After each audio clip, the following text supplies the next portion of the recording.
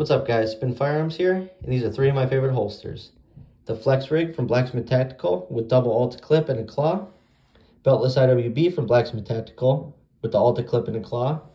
And the OWB with the discreet carry clip and a claw also made by Blacksmith Tactical. You can use code SPN for 10% off all Blacksmith Tactical holster orders. Thanks for watching.